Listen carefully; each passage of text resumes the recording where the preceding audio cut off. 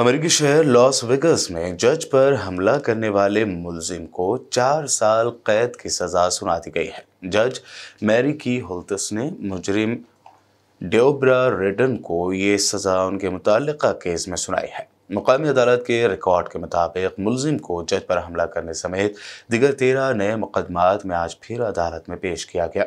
मुलजिम ने गुजशत हफ़्ते सज़ा सुनाने के दौरान जज मैरी की होल्टस पर हमला किया था जिसके वीडियो सोशल मीडिया पर काफ़ी वायरल हुए थे something else because I just can't with that history.